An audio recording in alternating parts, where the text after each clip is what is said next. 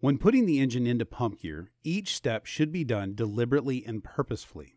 Rushing through these steps can cause the pump to fail to engage, costing valuable time.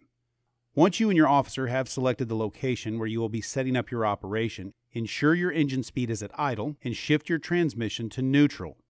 Next, set your parking brake. With some older model engines, you do need to ensure that both air tanks are at 100 psi, otherwise, the pump will not engage.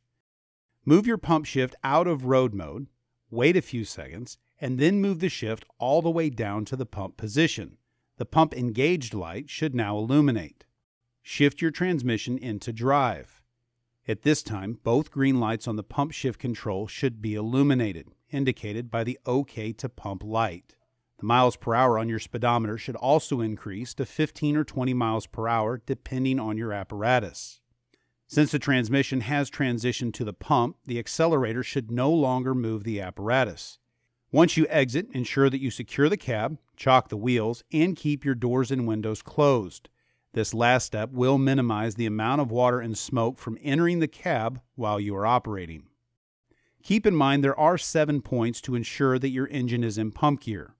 First, listen for the change. Most times you should be able to hear the transition from road mode to pump mode. The OK to pump light on the pump shift control will be illuminated. The accelerator will no longer move the apparatus. The miles per hour on the speedometer will have increased. The throttle ready light on the pump throttle will be illuminated. On Spartan apparatus, the throttle ready light on the pump panel will be illuminated. And on Pierce apparatus, the OK to pump indicator will be illuminated. Finally, the pump discharge pressure should register on the gauge. If you find that the pump has failed to engage, it will more than likely be due to performing these steps in the wrong sequence or too quickly. Return to the cab, place your transmission back into neutral, and repeat the shifting process.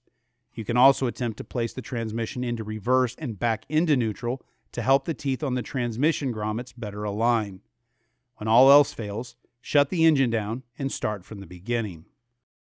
Once pump operations have ended, you will need to place your pump back into road mode.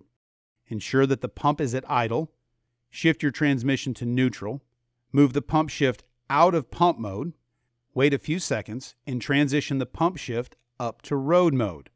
Both indicator lights should no longer be illuminated, and your transmission should now be re engaged with the apparatus transmission axle.